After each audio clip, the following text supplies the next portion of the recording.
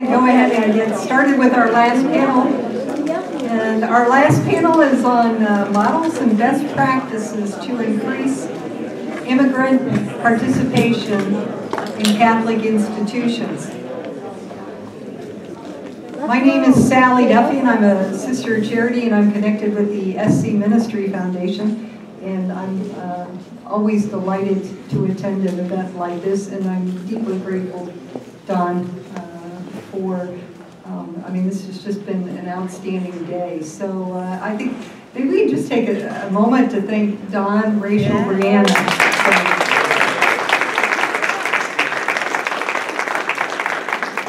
And certainly thank you to all of you for your guidance and involvement and participation in this event. We have three panelists this afternoon. First is Denise Martin. And Denise is the director of Catholic Education Foundation in Los Angeles, California. We have Kathy Curran. And Kathy is the senior director of public policy for the Catholic Health Association. And Dr. Hosffman Ospino, who is the assistant professor of Hispanic ministry and religious education at Boston College. Denise is going to start off with talking about the Catholic Education Foundation's work to make Catholic education accessible to immigrant families through scholarship programs, and she will highlight some research that they've done in partnership, a longitudinal study uh, with Loyola Marymount University. Kathy is going to highlight and talk about the integration work of the Catholic Health Ministry and offer examples across the CHA, um, the Catholic Health Association Affiliate Network. And then uh, Professor Ospino is going to talk about an immigrant integration in the parish life. And he will share insights from findings of the first national study on Catholic parishes with Hispanic ministry. So we are delighted and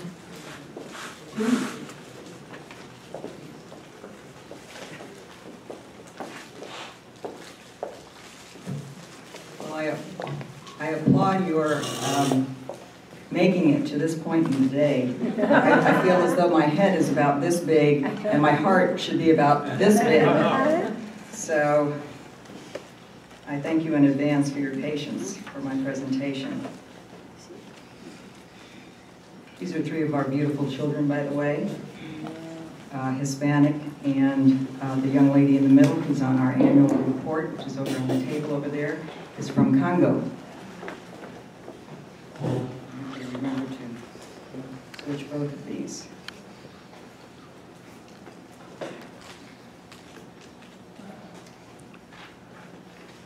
You'll never remember this website, so if you want to experience this uh, YouTube video, you're going to have to take one of our, our handouts over there.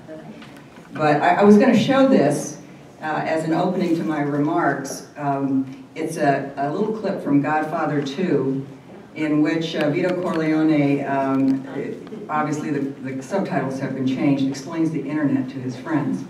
Um, and it's, it's a, it was very um, interesting to me on two levels. One was the humor. If you're someone who is into technology, it's very funny. If you're someone who has no interest in technology, it's very funny. Um, and, but it is a wonderful uh, enactment of the challenges that immigrants face on many levels. And it uses language, obviously, um, to um, communicate the many uh, levels on which immigrant families have to learn not only English if they're going to function in this country, but also all the sub-languages we have. And when you think about the language involved in technology, it's as foreign to most of us as any foreign language. So it's a, it's a very sobering um, uh, little piece on, on that level as well. But it's also funny. The Catholic Education Foundation of Los Angeles was founded 25 years ago, just celebrated the 25th anniversary, by then Cardinal Roger Mahony, oh, well, he was then Archbishop, he's now Cardinal, um, and a group of community leaders, uh, most Catholic, but some non-Catholics, who, understanding that Catholic education uh, enrollments had been on the decline for about 20 years at that point, uh, would that the Catholic schools of the Archdiocese of Los Angeles would need some shoring up going forward, and that their sustainability was crucial to the life of the Archdiocese and to the city of Los Angeles, indeed to the, to the nation. Um, so they founded the foundation, which in, in, fact is not a 501c3. It is a trust, uh, and it is a part of the Archdiocese of Los Angeles. They founded it to establish an endowment to help fund students who would be attending inner city schools, and to also, by, by virtue of the fact of funding the students, uh, also provide greater sustainability for the schools. So our mission is really twofold. We fund students, and by virtue, by virtue of funding those students, we are helping our schools. Now, I want to just give you a sense I want to give you a sense of what the Los Angeles Diocese is like in terms of education. The Archdiocese of Los Angeles covers three counties, Santa Barbara County, Ventura, and Los Angeles counties. We have five pastoral regions uh, with, with bishops. We have currently about 80,000 students in pre-K through grade 12. Our capacity is 115,000 students, so we have open seats for about 35,000 students in the Archdiocese. The breakdown of our schools is, um, is interesting in that CEF uh, and the work that it's done has, has proved to be um, very important for the sustainability of the schools. We have 219 elementary schools and CEF is funding students in 167 of them. That's 76% of the schools primarily in inner city schools, primarily with Hispanic and African American populations.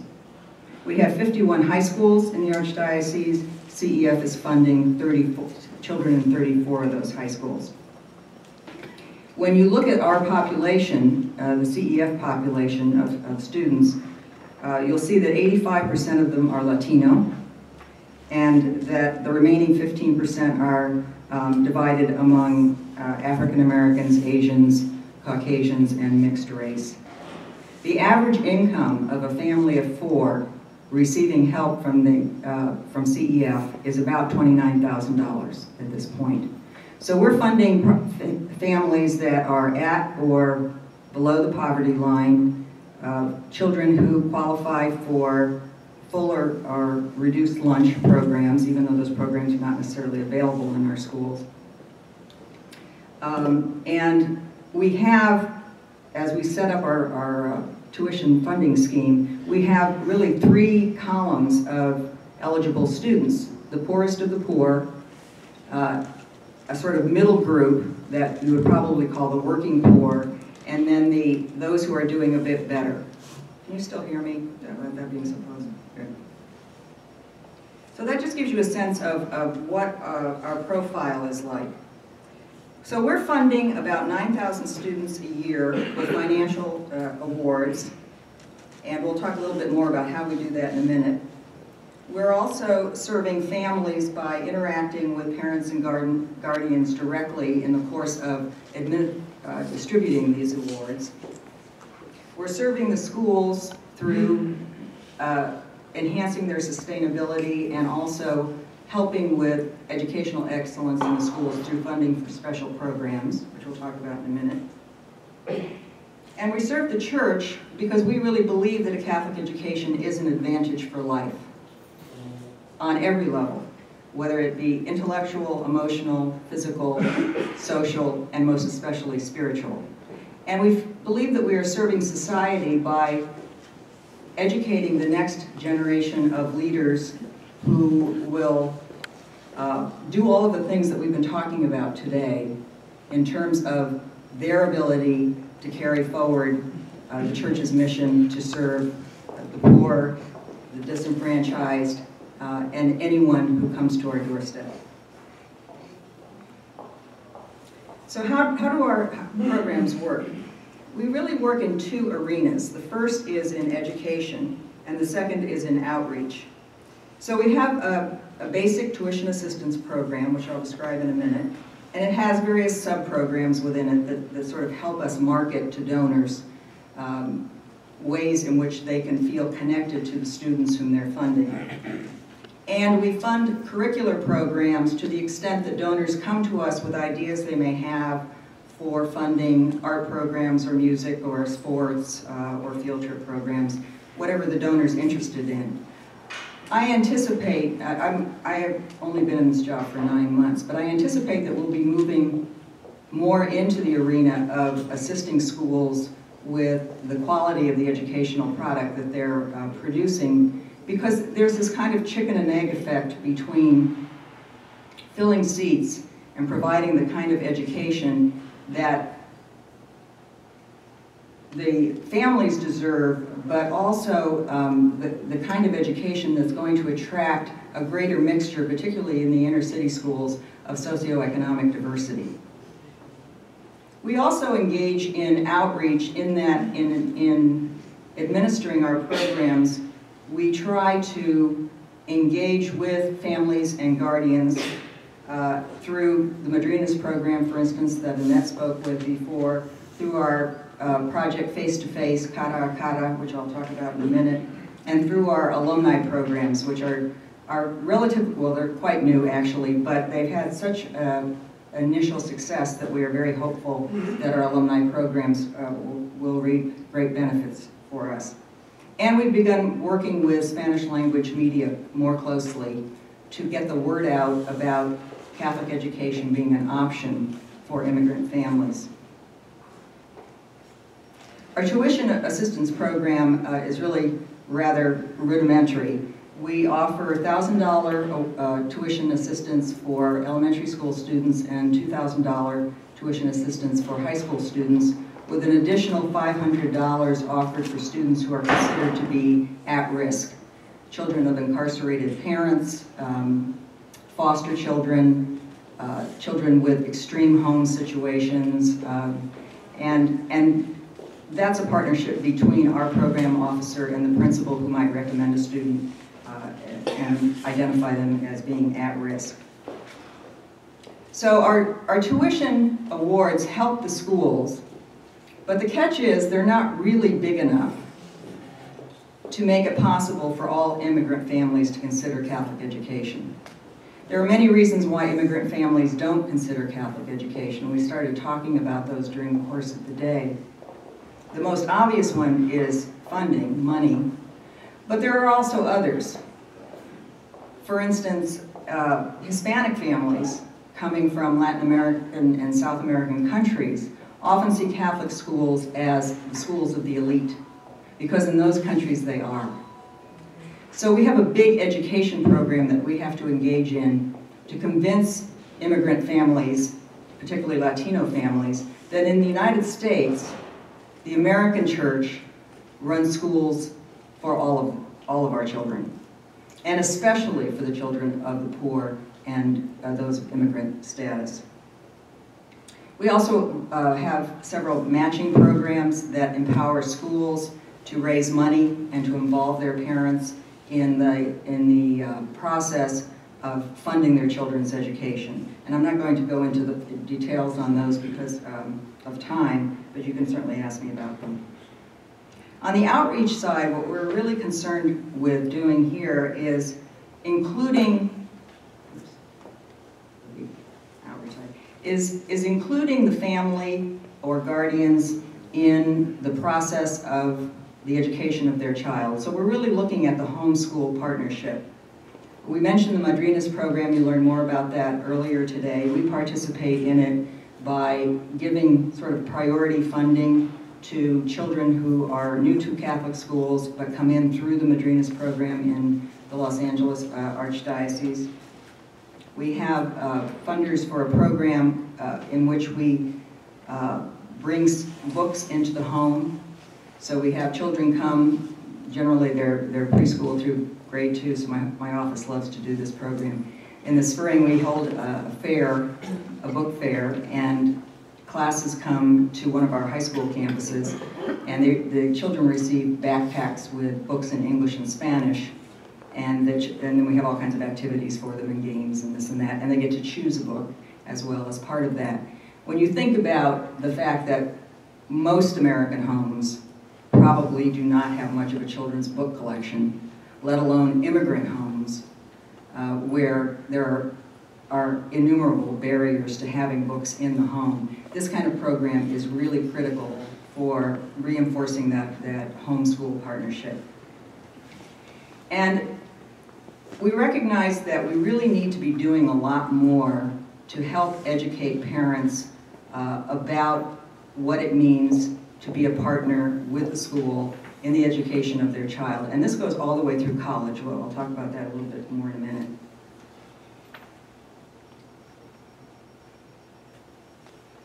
So our, we, we started the CSAN network this year with city, city foundation funding, so Citibank and Banamex um, gave us funding for three years to start a mentorship program for first-time college, uh, first-generation college attendees. And we have about 25 young people in this program. They're all college freshmen in the Los Angeles area. Some of them are living on campus, most of them are living at home. So we have uh, commuter issues in the group and we have resident issues in the group.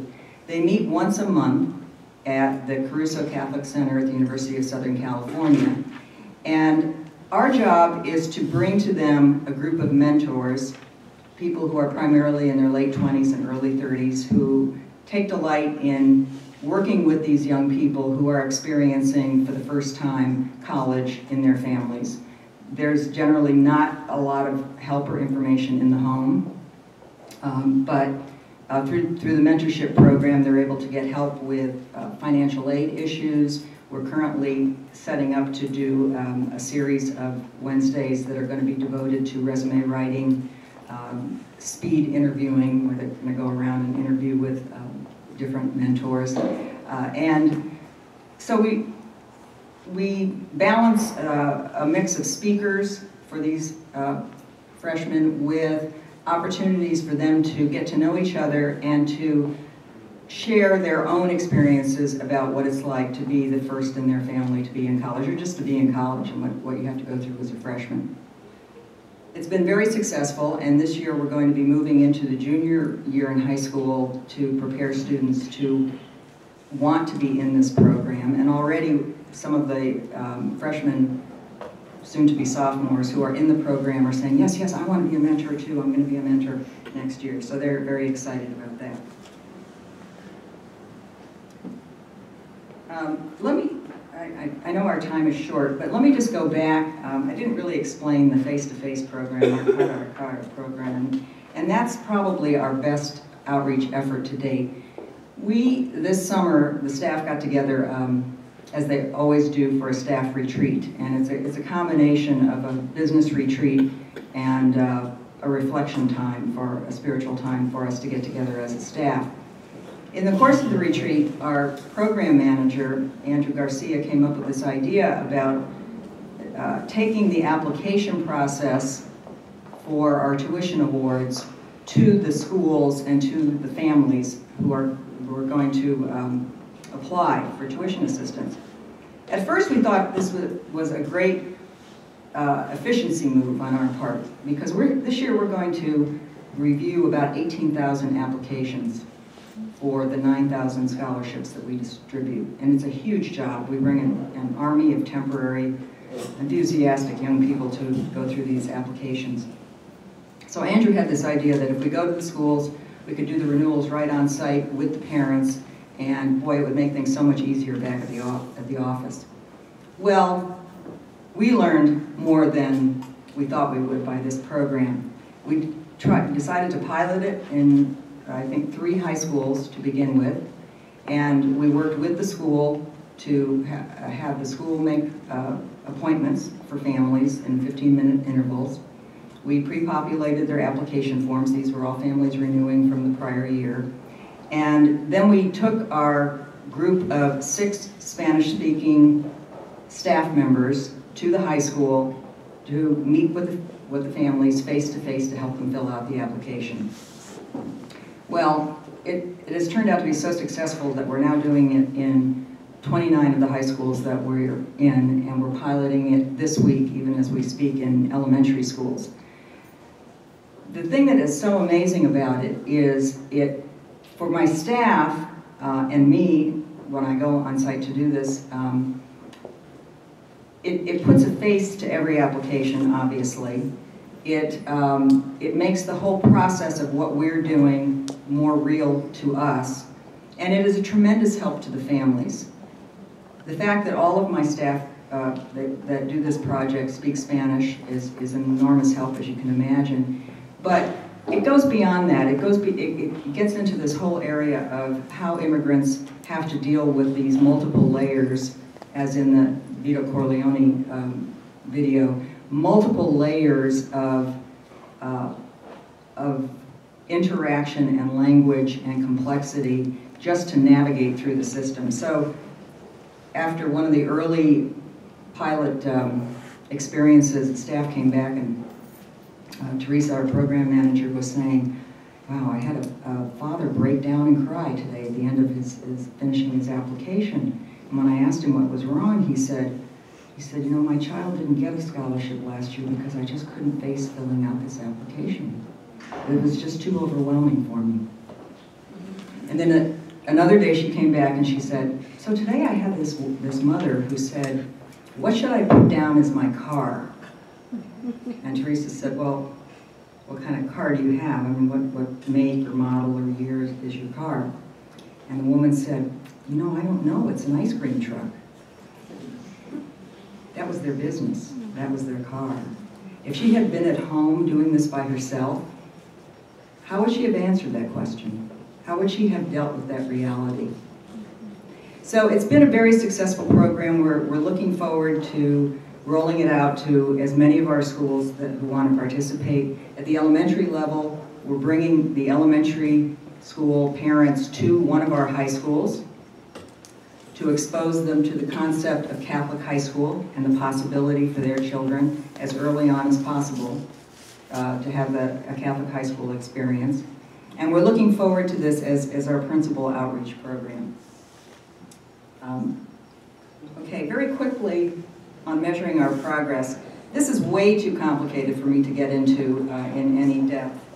But since 2008, CEF has partnered with Loyola Marymount University um, out by the beach in California on a, what we think is probably the first of its kind, uh, empirical, multi-phased, longitudinal study of CEF students. And the third phase of the study will be coming out probably the end of March, beginning of April.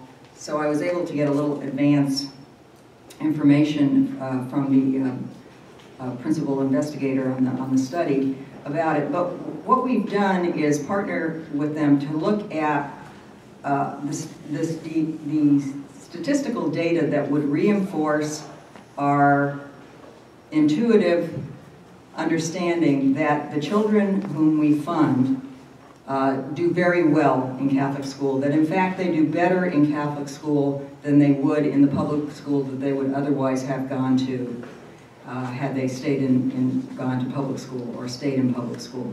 So there are about 600 CEF students in each cohort of the study.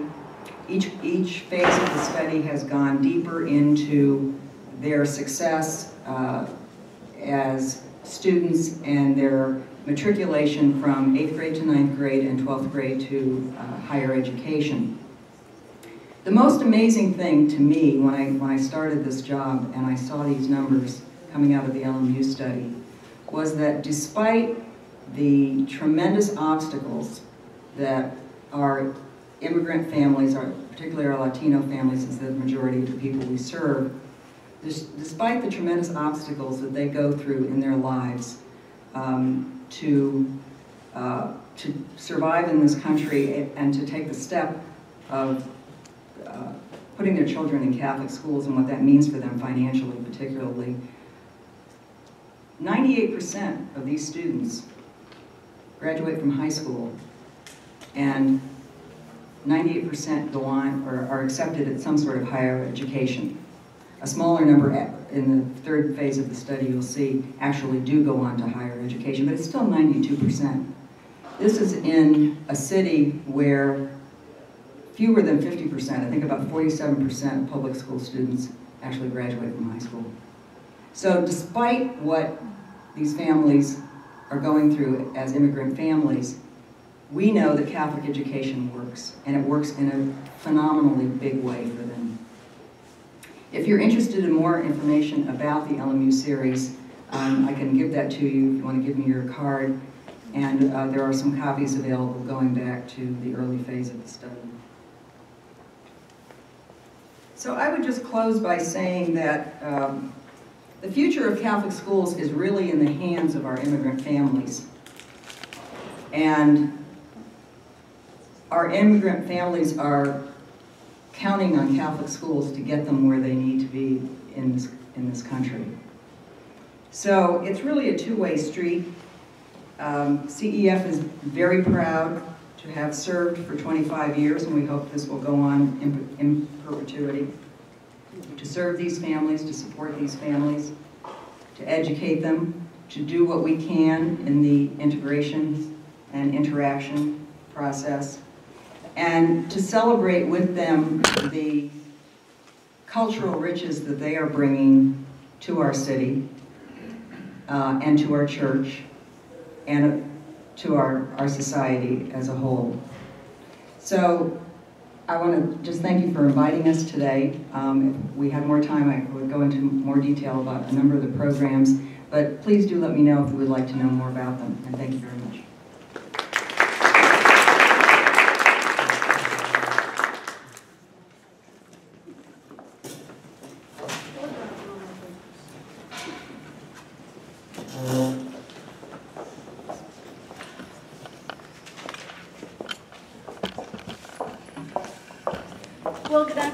everyone. Thank you for uh, sticking around until the almost bitter end.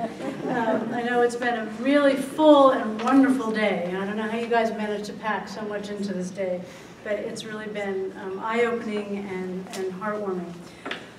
What I would like to do in my 12 to 15 minutes is to try to give you a quick introduction to the Catholic Health Ministry and the ways that uh, the opportunities that we have in the Catholic Health Ministry to reach out to and work with and serve immigrants. I want to give you a whirlwind tour, tour of a handful of examples so you can see the kinds of programs that are out there.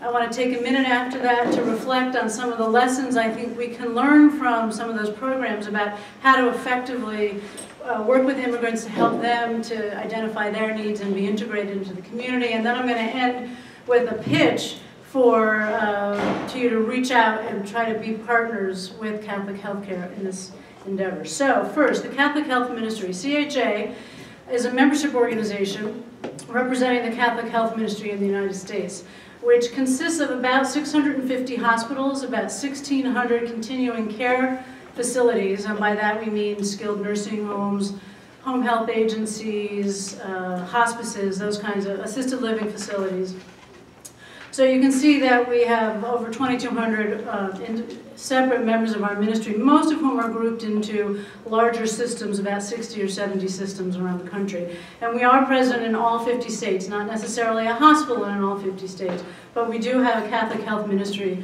presence in all 50 states. The ways that we have, the opportunities that, um, kinds of opportunities that the Catholic health ministry have to reach out to immigrants obviously starts first with our hospitals people come to us because they need care, although there are obstacles for immigrants to coming into our facilities, even just for the basic care, which I'll talk about in a little bit. Then we run clinics uh, that are out in the communities that provide um, primary care, prenatal care, pediatric care, mental health care, counseling, a whole host of services in facilities that are located in communities where immigrants will reside. Uh, we also do a lot of work, uh, what we call community benefit work, which is sometimes health related, sometimes only tangentially health related. But these are projects that we run or we fund or we collaborate in that have been identified through a process called developing a community health needs assessment, which is something Catholic and other not-for-profit hospitals are required to do, but we've been doing for a long time before anyhow. And through that process, you consult with people in the community to identify what they see are the needs, and to work with you to figure out, well, these are the needs, what, how can we help to uh, meet some of those needs.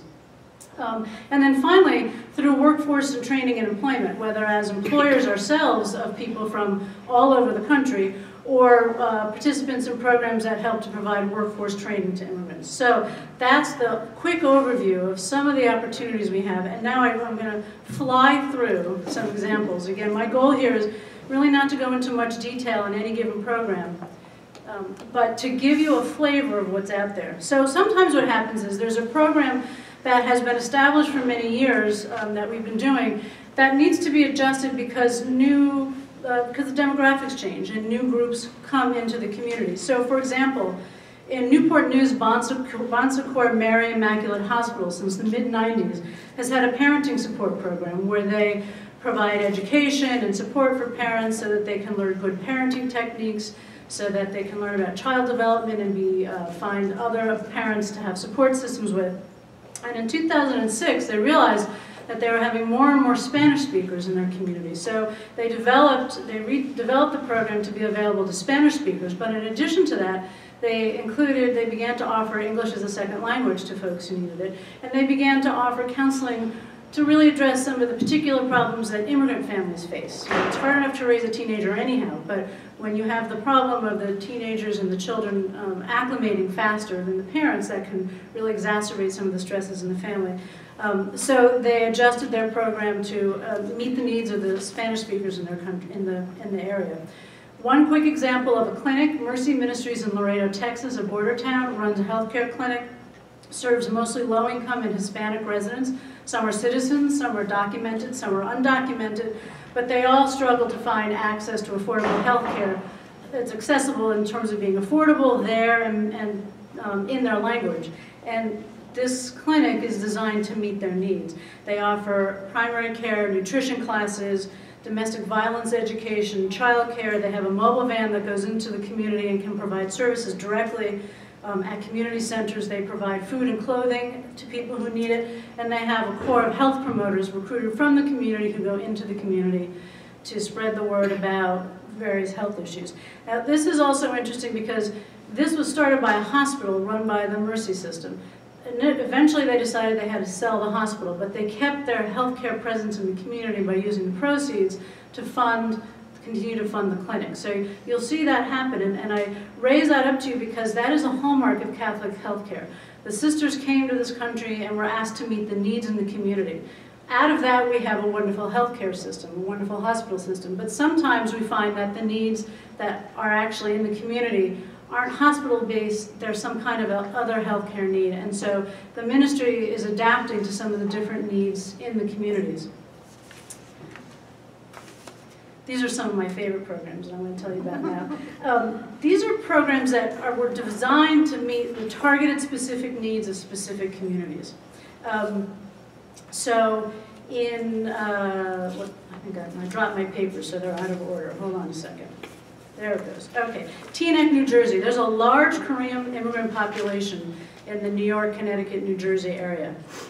Holy Name Medical Center has developed um, a, a, resource center for Korean immigrants, a health resource center. It's located on the campus of the medical center. The location itself is very welcoming. They, Korean language speakers can go there to get assistance in getting connected up with primary care doctors and other healthcare uh, providers. They can get Korean meals there. They can watch Korean soap operas in the, uh, in the waiting room while they're waiting. They have a, a, core of drivers who speak Korean who will help them with transportation issues. They um, engage in extensive outreach and communication into the Korean community, going into churches. They have a special campaign targeting hepatitis B, which apparently is particularly prevalent in Asian communities and is a big problem. Um, they also run health fairs and target other public health issues that are of concern to the community as well, diabetes awareness, for example. So it, it's really identifying what the needs of the Korean community are, providing culturally appropriate um, location where they can have those needs met, but then also going into the community to bring them in. In uh, Merced, California, Mercy Medical Center, there are a lot of Hmong immigrants in that area. After, uh, after the U.S. got out of Vietnam, there was a huge influx of Hmong immigrants out of Laos into the United States. Um, and they came, many of them, uh, their, their culture is very much based in sort of traditional spiritual forms of healing. Western culture, Western medicine, was completely foreign to them and continues to be. It's a very, uh, their, their cultural identity has really remained strong. So they were having a really big problem because they would want, when they got sick, they wanted to stay in their homes and have their traditional healers come and perform traditional ceremonies before they would go to the hospital. The problem is it would cause delays, and often by the time they got to the hospital, they were very sick, they, perhaps it was too late, and there was just no trust they, they feared Western medicine, they feared doctors. So what this hospital did was it started a program and it connected up with the, with the shamans, the Hmong shamans, and it invited them in and they provide 40 hours of training um, and outreach to the Hmong shamans. They uh, introduce them to concepts of Western uh, uh, concepts of Western medicine. They tour them around the hospital so they can see surgery and radiology and pediatrics and maternity. And once they've completed it, they get a badge. They're treated as chaplains. They get a badge. They don't have to wear hospital scrubs. They continue to wear a traditional shaman jacket. And they're there to um, do two things. One, to uh, assist the patients who are there, Hmong patients, but also to educate the doctors and the, and the, and the um, staff about what the cultural issues are for the Hmong population. There is a, an approved list of about a dozen ceremonies that the Hmong chaplains can perform just without anybody say so. And then they're fairly simple and short. And then a, a long, another list of more complicated ones that they can perform if appropriate arrangements are made ahead of time. Um, so now instead of waiting around to try the, the traditional way first and then go to the hospital, they can get their Western medicine and their traditional healing at the same time. And it's very effective because as we all know, a lot of healing in Western medicine has to do with your attitude and, and how you feel about things. Um, and so often they find the Western medicine wasn't working because the patient was so uncomfortable. And now they can get both their Western medicine and their um, traditional healing at the same time. They have a shaman serving on the hospital's advisory board to help them make sure the program um, goes forward.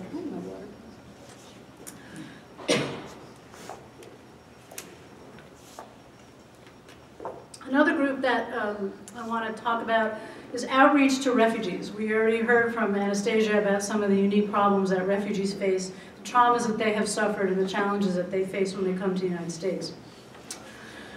Um, in uh, Boise, Idaho, in 2009, they had an influx of about 1,200 refugees because Boise is a federal refugee uh, resettlement site. Uh, many people from Africa, many people from the Middle East. So St. Alphonsus, which is one of the two major healthcare providers in the area, got together with the resettlement agencies, the state and city refugee offices, social service providers, representatives and focus groups that they conducted from the refugee communities themselves. And out of that decided to make refugee care a top priority and developed two programs. One is a maternal um, health clinic where the refugee women who can come in and again, they these are women who have suffered trauma, really great physical and mental trauma, um, which um, causes them to have a lot of fear of the medical process, fear of doctors, fear of examination, and what was going to happen when people touch their body. And it means that, that many of them have unique medical conditions as a result. Um, so the Care Maternal Child Health Clinic um, provides a safe place where they can come they are uh, met a day ahead of their appointment and they're shown the place and, and, it's explained to them how it will work and their questions are answered. They employ about a half dozen health advisors who are themselves settled refugee women who have been through the clinic They offer uh, language services in over, on-site immediate language services in over 15 languages to cover all these different groups. Um, my time is ticking away, so I'm going to talk even faster if you can believe it or not. So they provide language services, transportation services, they take extra time to explain all the processes. Um, They provide mental, on-site mental health and uh, primary care as well as well baby care once the, the children are born. They provide support groups so the women can talk together. In addition, St. Alphonsus, their, their uh, physicians medical group, runs a clinic and they, that focuses on refugees. 80% of their patients are refugees and they have a mobile clinic that they drive into the communities where the refugees have settled to be able to provide direct care to them um, in the places where they live. I think I'm going to uh, talk about just one more program because it illustrates a point that hasn't been made yet, and this is in Anchorage, Alaska. Actually, this is two points. So in Anchorage, Alaska, Providence Medical Center works with Catholic Social Services Refugee Assistance and Immigration Service to help provide, um, which is the refugee resettlement agency in that, in the, for Alaska, to help provide work, workforce training experiences to recent refugees. These are six months programs in the environmental department, the um, uh, environmental services, laundry services, and sterile processing, 20 hours a week, $10 an hour. So it's not, you know, it's sort of basic work, it's not a ton of money, but it's hands-on experience for people. Before, you know, they're not really ready to be employed, they don't have their English down yet, they don't have the other things that they need, but they come in and for six months they get to have some on-the-job workforce training, make connections with the people that they work with, have ESL training. Um, many of the people have been hired afterwards as full-time employees by Providence, and some of them who haven't have gone on to get jobs elsewhere. So it's a really excellent transitional um, opportunity for them to get training and get some money as well.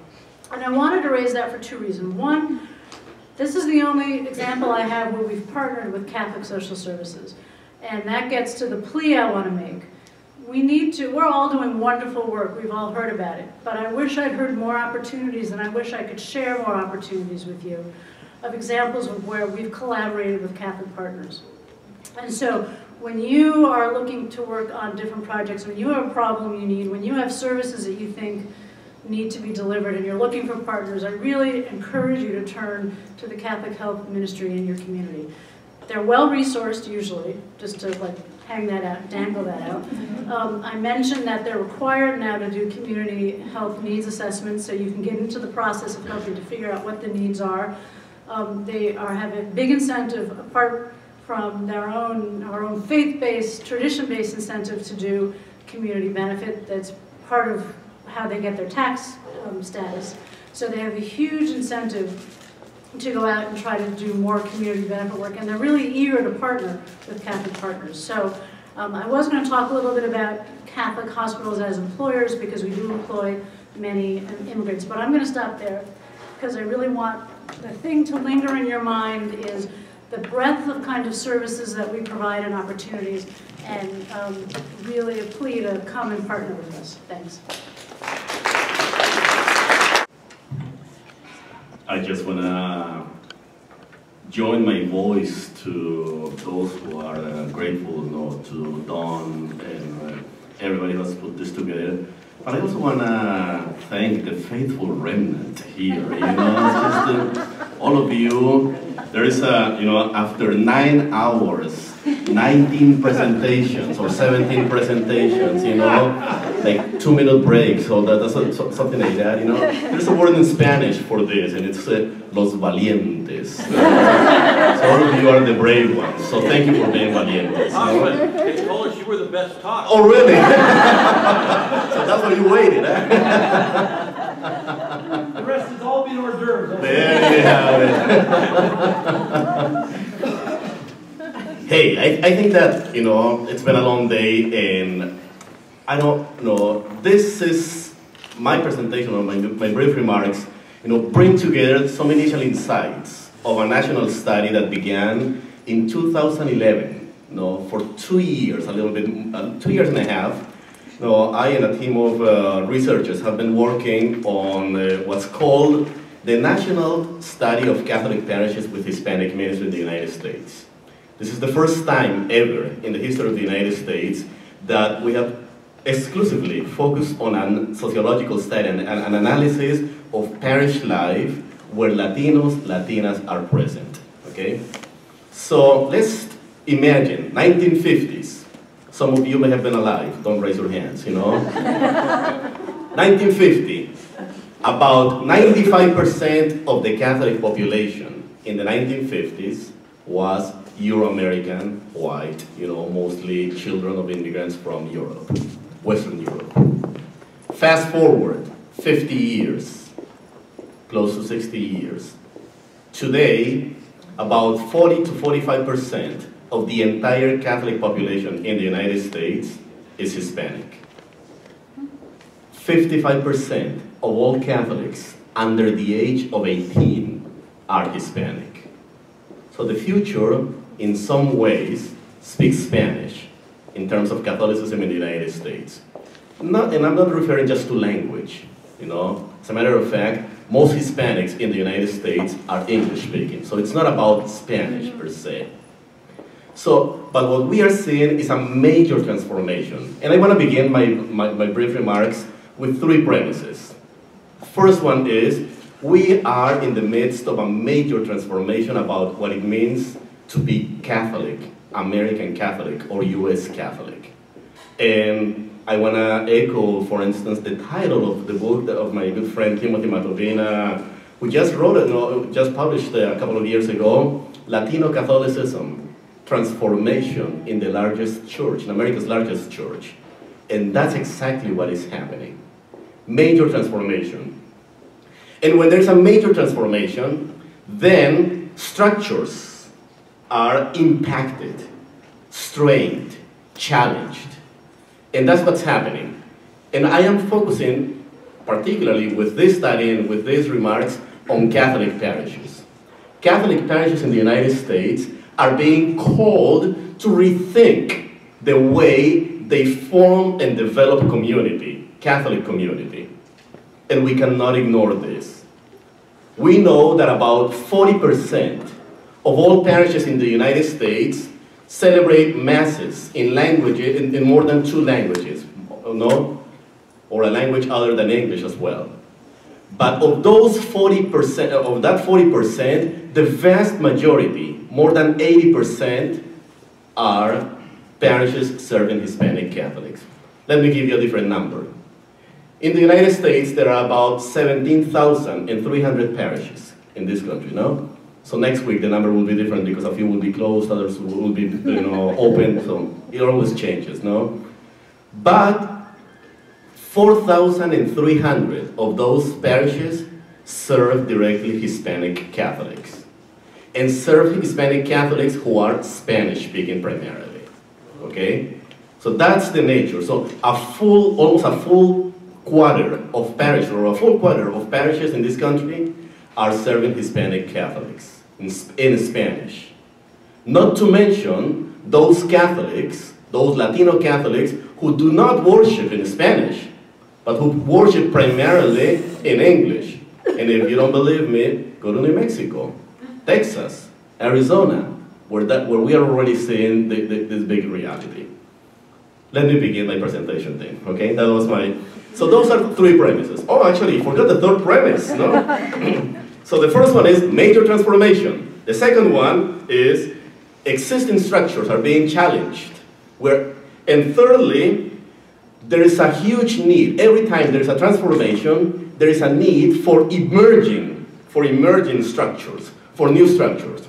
In other words, we are being called today in 2014, 21st century, early 21st century, to developing creatively new ways of being parish, being American Catholic parish.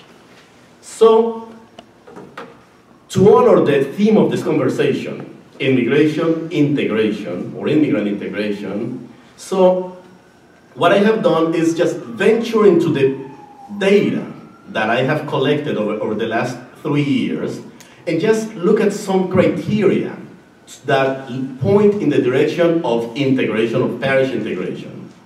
And what, what did I discover?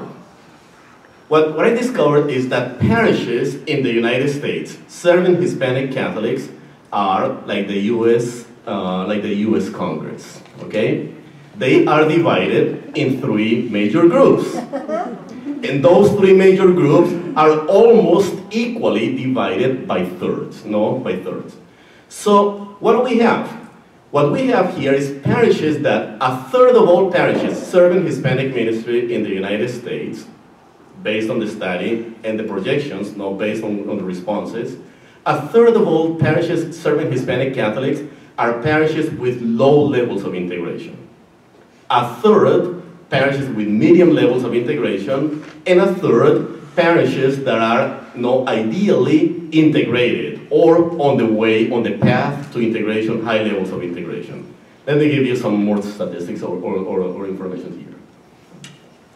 So what we have here is that parishes that are considered low, no, with low levels of integration are parishes where no, the ratio no, in terms of membership to employers Eh, or to employees is two to one. In other words, representation matters, friends. Representation matters. If you have a large Latino population in your parish, but only one Latino person in, in, in positions of leadership, integration decreases in that particular community. No? And that doesn't happen only in parishes. It could happen in hospitals or, or schools or any other organization. That's, for instance, one of the cases of Catholic schools. No? Catholic schools, we could have as many Latino kids as possible. Yet, if we don't have enough Latino teachers and administrators, we, we, are, not, we, uh, we are diminishing the, the, the capacity for success in these institutions. And it's been proven sociologically inside the church and outside the church. So in parishes with low levels of integration, there are fewer Hispanics that are registered, that participate in the life of the, of the, of the parish. parish uh, the parish is most likely to have merged or, for, or, or was formed as part of a new cluster or recently changed its structure. In other words, parishes with low levels of integration are parishes that are, tend to be unstable structurally, unstable structurally. In terms of education, in these parishes, what we find is parents being less involved in the educational processes that the parish offers for faith formation. Parents do not get involved in religious education or adult faith formation. And also, in these parishes, notice this, you know, so English is the dominant language, 55, 51, 51%, bilingual 20%, Spanish 29%, okay?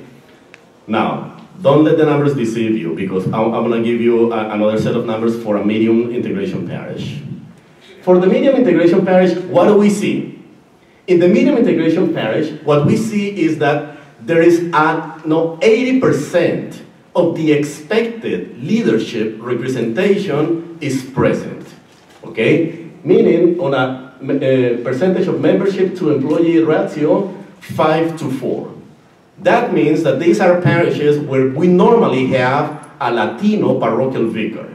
These are parishes where most likely we will have a Hispanic pastoral associate or a pastoral associate who is fully bilingual, fully bicultural.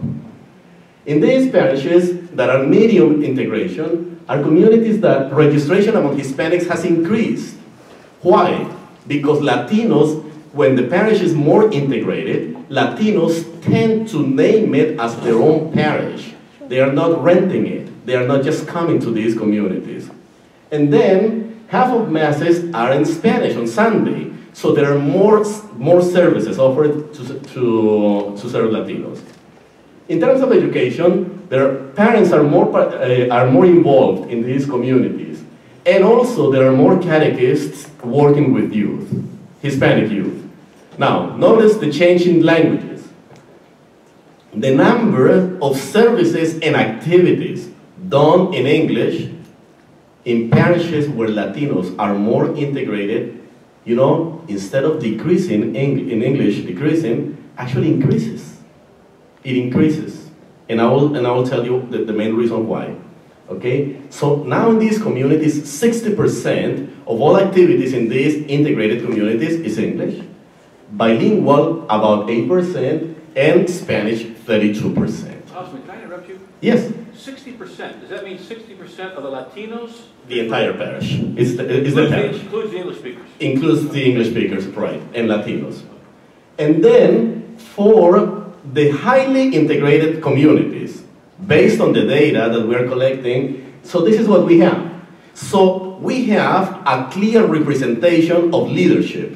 The Latino community, so say if the Latino community is half of the entire parish, half of the staff and half of the leaders tend to be Hispanic, okay? And those are the communities that tend to exhibit the higher number of, the highest level of integration, at least in the data that we have collected. 63% of these communities have a secretary who speaks Spanish, which you could seem silly or, or an irrelevant issue, but as a matter of fact, there are countless parishes out there where there is a large Hispanic population, but the staff seldom or barely speaks Spanish, or doesn't speak Spanish. 43% have a Hispanic deacon. So notice the correlation between leadership and integration. Half of the parish tends to be Hispanic, or more. Higher number of apostolic movements. Apostolic movements contribute to the integration of the parish. However, the data, and as you, you will see later, you know, when, when, the, when the, the, study, the results are released, the data shows that when apostolic movements work with the structures of the parish, they facilitate integration. When the, when the, uh, when the movements, apostolic movements, as a matter of fact, separate from the structures of the parish, they hinder integration, okay?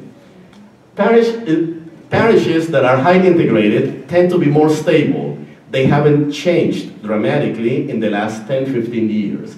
And in terms of education, they have the highest percentage of parents participating in the activities of, the, of education for their children. They get involved in schools, they get involved in, in faith formation programs, they get involved in many other activities, and the catechists are trained to work with Latino kids first, second, third generation.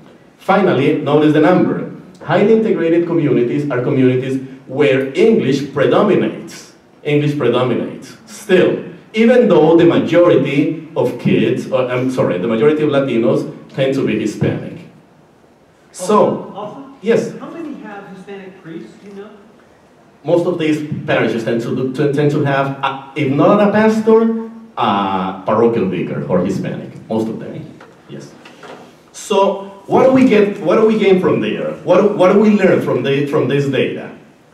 We learned four major insights in terms of uh, integration of, no, of Latinos, Latinas. I'm focusing exclusively on Latinos in this particular sample. So what do we learn from there, from here? One, parishes that are stable facilitate no, vibrant Hispanic ministry and lead to integration. Parishes that are stable. Now, there is a phenomenon in many dioceses that when parishes close, particularly in the Northeast and the Midwest, parishes, when parishes close, many of the parishes that tend to close are parishes with minority groups in them.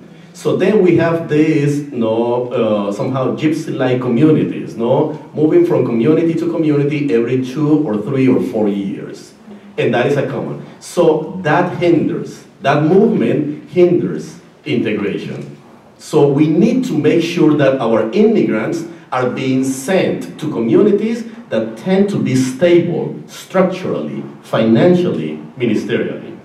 Second insight, the stronger the presence of Hispanic leaders in decision-making positions, the stronger the possibilities of integration for the immigrant community. Okay? So the presence, we need to start empowering Latinos, Latinas, and in this case, that, that's the sample, but immigrants to take more ownership in leadership positions.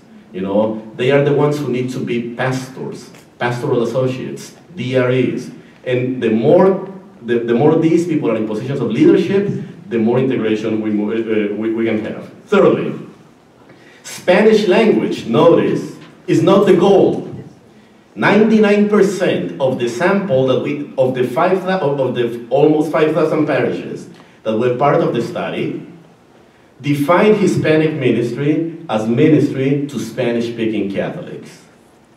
However, what we are discovering through the data is that the goal is not to just exclusively separate the Latino community according to language. Of course, language needs to be used, primarily with the first generation.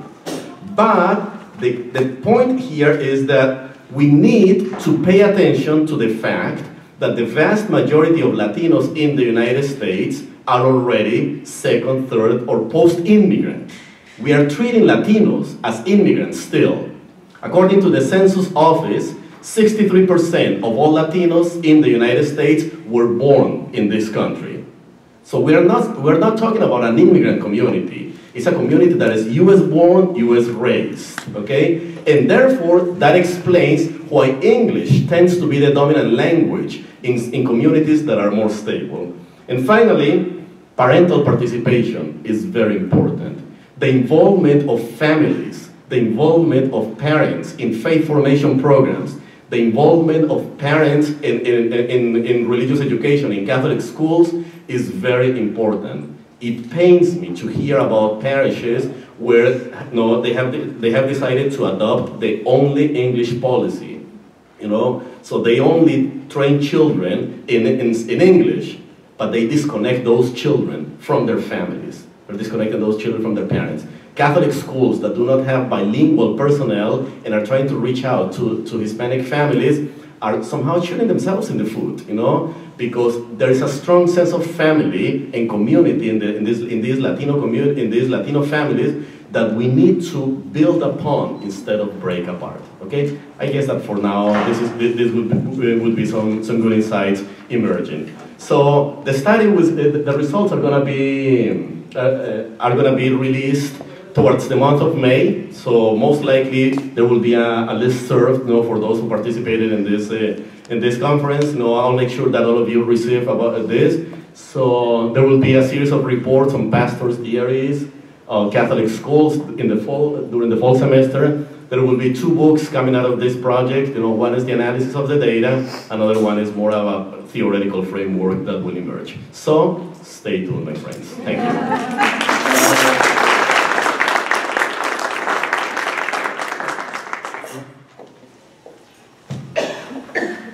Unbelievable information from all three of the panelists. Uh, We probably only have a couple of minutes, but uh, are there questions that, or comments?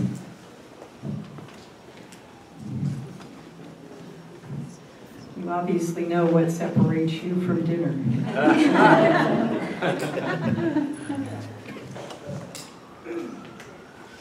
Don, anything?